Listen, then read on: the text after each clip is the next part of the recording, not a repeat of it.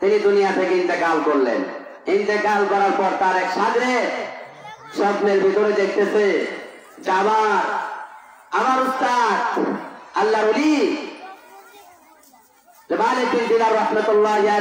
জান্নাতের ভিতরে করতেছে তো সাগরে মালিক বিন রহমতুল্লাহ জিজ্ঞাসা করতেছেন, ও আল্লাহ রলি জগৎ বিখ্যাত সফি সাধক আপনার সাথে আল্লাহ রব্বুল আলমিন কেমন আচরণ করেছেন?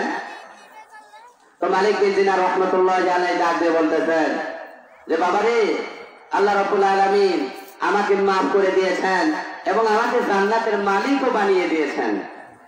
কিন্তু আমার আফসুস, আমার বাড়ির পাশে আমার প্রতিবেশী যে কামার ছিল।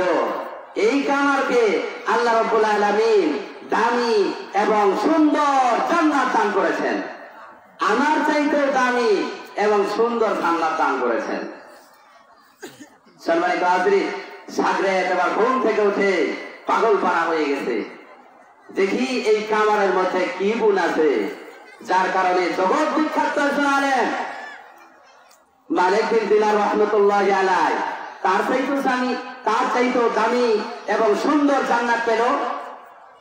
এর রহস্য কি?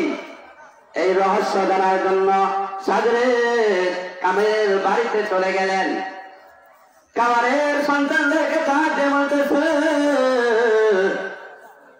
ও বাবা, তোমাদের বাবা কামা গোপনে কি কি আমল করেছে আমাদেরকে বলো। আমরা জানতে চাই, আমি অনেক দূর থেকে এসেছি এই আমল শোনার জন্য। সন্তানেরা বলতেছে আমরা তো এই খবর রাখি না, আমরা এই খবর জানি না। আমার মাকে জিজ্ঞাসা করেন, আমার মা বলতে পারবে, আমার বাবার কি গোপন আমল ছিল? অন্তরাল থেকে মা বলতেছে, ও সাগরে, আমার স্বামী দুইটা গুণ ছিল, দুইটা সিবাদ ছিল দুইটা কোয়ালিটি ছিল। এক নম্বর সিবত হচ্ছে, এক নম্বর গুণ হচ্ছে, আমার স্বামী যখনই আজান শুনতেন, তখনই নামাজের জন্য রেডি হয়ে যেতেন। আর দেরি করতেন না। তিনি সারাদিন লোহা ফেটাতেন হাতুড়ি মাথার উপরে উঠেছে। এই মুহূর্তে আসান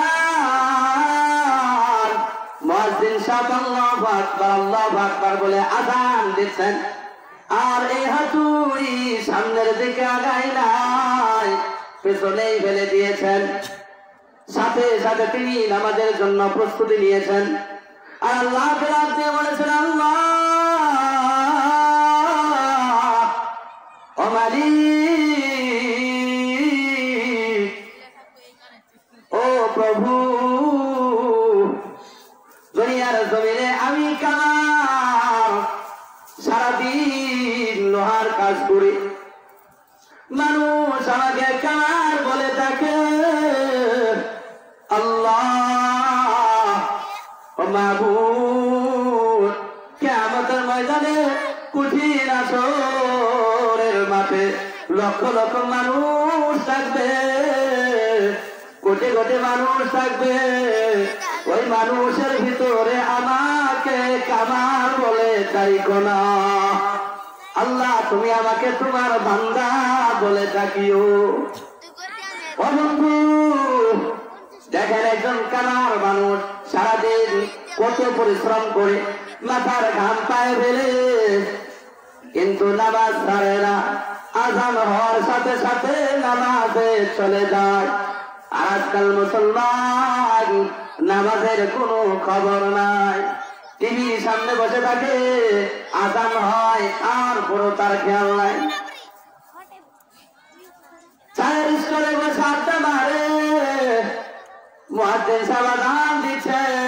কিন্তু তার খবর নাই। সে আড্ডা দিতেই আছে, নামাজের প্রতি তার কোনো ভ্রুক্ষেপ নাই। সম্মানিত হাজির এই জন্য বড় বাড়ির মালিক জাহান নামের প্যাসেঞ্জার হয়ে যাবে। কোটি টাকার গাড়ির মালিক জাহান নামের প্যাসেঞ্জার হয়ে যাবে। বহু দোকানের মালিক জাহান নামের প্যাসেঞ্জার হয়ে যাবে। কিন্তু বাড়ির দরওয়ান জান্নাতের মেহমান হয়ে যাবে।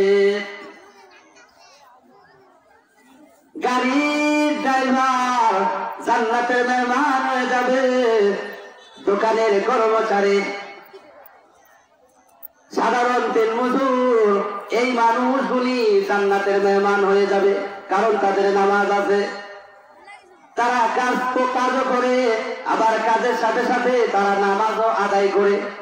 কারণ নবীনের এক নম্বর সেবাতে হচ্ছে, যখন আল্লাহ আকবার শুনবে, তখন সে আর ঘরেতে বসে থাকবে না। টিভির সামনে বসে থাকবে না, চায়ের স্টলে বসে থাকবে না, দোকানে আড্ডা দেবে না সব কিছু ছেড়ে দিয়ে আল্লাহর হুকুম আগে পালন করবে। কারণ দুনিয়ার সব কিছু থেকে আল্লাহ হচ্ছে সব চাইতে বড় মাঠ সব চাইতে বড়। মমিনের অন্তরে সব সময় এটাই থাকে। সম্মানিত আছি তো এই গুণটা ছিল কামারের ভিতরে। কামারের ভিতরে এই গুণটা ছিল আদান হওয়ার সাথে সাথে নামাজের জন্য রেডি হয়ে গেছে। সম্মানিত আছি এবার দুই নাম্বার গুণ। কামারের স্ত্রী বর্ণনা করতেছে। ও সাগরেত কামারের দুই নাম্বার গুণ হচ্ছে, সে পাঁচ ওয়াক্ত নামাজ সঠিক ভাবে সব সময় সময় মতো পড়ত। দুই নম্বর গুণ হচ্ছে, সারাদিন কাজকর্ম করার পর এসার নামাজের পড়তে শুয়ে পড়তেন। রাত্রের বেলা বছরের আসান শুনে তিনি ঘুম থেকে উঠতেন। ঘুম থেকে ওঠার পর আল্লাহকে ডাক দিয়ে বলেন, আল্লাহ ও মালিক, আমি গরিব মানুষ, আমি সারাদিন লোহা পেটাই সারাদিন মাথার ফেলে হাতুড়ি পিটাই এই জন্য সারা রাত্র আমি নফল নামাজ পড়তে পারি না। আমার প্রতিবেশী মানে দিনার রহমতুল্লাহ আলাই, সে একজন ধনী মানুষ। ধনী মানুষ, ধনী হওয়ার কারণে তার কাজকর্ম করার লাগে না। আল্লাহর আবাদত করে এসার নামাজের পর থেকে ফজর পর্যন্ত নফল নামাজে কাটা যায় কোরআন তেলাওয়াত করে। কিন্তু আমার তৌফিক নাই। সাগরের ডাক বলতেছে, এই দুই গুণ, এই দুই গুণের কারণে আল্লাহ রব্বুল আলামিন মালিক বিন দিনার রাহমাতুল্লাহ আলাইহি। একজন জগৎ বিখ্যাত আলেম, জগৎ বিখ্যাত আল্লাহ উলি তার চাইতেও দামি এবং সুন্দর জান্নাত দান করেছেন। জুড়ে বলে, সুবহানাল্লাহ। সম্মানিত হাজরি এই দুই গুণ আমাদের ভিতরেও থাকতে হবে নফল আবাদত নফল আবাদত সে করতে পারে নাই সম্মানিত হাজরি এটা খাওয়া মানুষ গরিব মানুষ যারা দুই হাত দিয়ে উপার্জন করে বিষ্ণু বলতেছেন وقال النبي صلى الله عليه وسلم الكسيب حبيب الله الكاسب حبيب الله যারা দুই হাতকে উপার্জন করে, তারা হচ্ছে আল্লাহ রাব্বুল আলমিনের বন্ধু। সম্মানিত আছি এই গরিব মানুষগুলি, এই সাধারণ খেতে খাওয়া মানুষগুলি, তারা হচ্ছে আল্লাহর বন্ধু।